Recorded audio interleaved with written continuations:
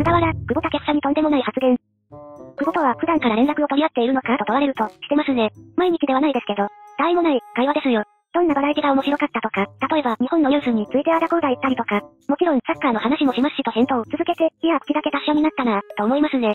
ですが一番の友達というか、腹を割って何でも話せる友達でもあるし、に立てば、1歳下の2001年生まれですけど、常に先頭に立って引っ張ってくれた存在なので、リスペクトもあります。いろんな魅力を持った選手だなとは本当に思いますと、親友であることを強調した。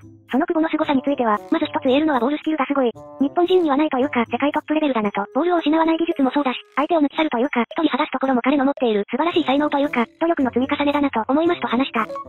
仲良いな。小学生の時点でスペイン行けちゃうところ、才能なんだろうな。もちろん努力の積み重ねなんだろうけど。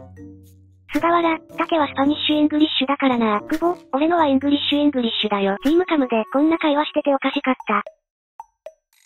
口だけ達者になった。ソシエダ久保。ご視聴ありがとうございました。このチャンネルではサッカーネタを毎日投稿しています。